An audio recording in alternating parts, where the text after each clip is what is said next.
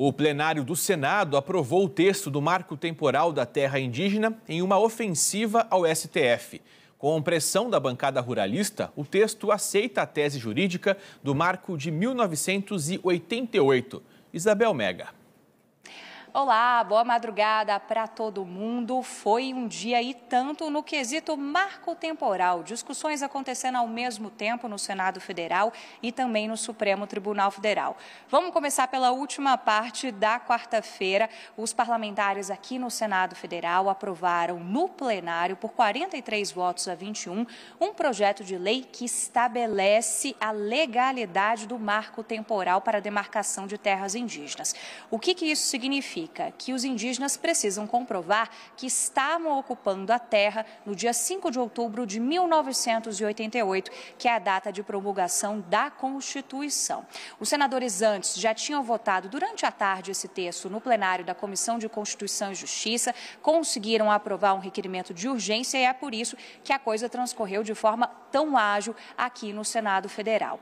Agora, esse texto vai para a sanção do presidente Lula, já que não passou por modificações. Então, Lula vai ficar nessa posição bastante desconfortável de saber se adota o tom da coerência, já que criou um Ministério dos Povos Originários, que é contrário a essa tese do marco temporal, ou se atende boa parte do pleito das bancadas aqui do Senado e também da Câmara dos Deputados.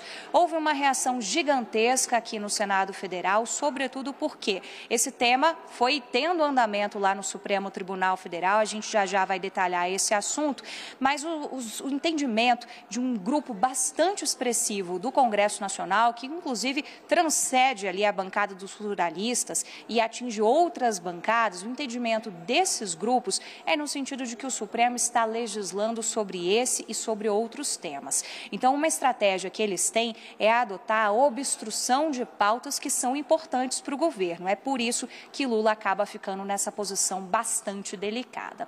Ao mesmo tempo, o Supremo Tribunal Federal retomou esse assunto. Vale lembrar que na semana passada a Suprema Corte do país, por nove votos a dois, tinha ido no caminho contrário do que decidiu nesta quarta-feira o senador por aqui, indo contra a tese do marco temporal. Na sessão desta quarta, os ministros voltaram a esse assunto para estabelecer uma série de critérios para a aplicação, então, da decisão deles, no sentido de colocar, por exemplo, quanto que vai ser necessário indenizar ou não fazendeiros, agricultores, produtores rurais que ocupavam essas terras e que, portanto, a partir da decisão lá do Supremo Tribunal Federal, vão ter que deixar essas terras. Esse era um dos pontos mais mais sensíveis nessa discussão. Então, na verdade, o que os ministros do Supremo Tribunal Federal fizeram na tarde desta quarta-feira foi definir um guia justamente para orientar tribunais de justiça de todo o país que lidam com ações do tipo que normalmente colocam de lados antagônicos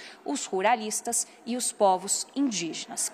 A partir de agora, então, a expectativa de especialistas é que haja ainda mais judicialização sobre esse tema, sobretudo depois que o presidente Lula tiver que decidir sobre a sanção ou não desse projeto de lei.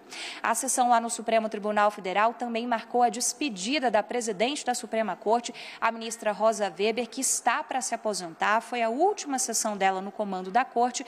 A partir da semana que vem, a gente já pode se referir à ministra Rosa Weber como ministra aposentada do Supremo Tribunal Federal, porque ela completa 75 anos, que é justamente a data limite para ficar como membro da Suprema Corte. Foi uma sessão com bastante homenagem de todos os ministros à presidente Rosa Weber, que falou sobre a intensidade de ter ocupado essa vaga de ministra da Suprema Corte e relembrou também os atos golpistas do 8 de janeiro. Foi um momento bastante marcante da atuação dela à frente da presidência do Supremo Tribunal Federal, porque a ministra, que tem um perfil bastante discreto, chegou inclusive a dar declarações muito contundentes contra os atos golpistas antidemocráticos que marcaram Brasília no dia 8 de janeiro.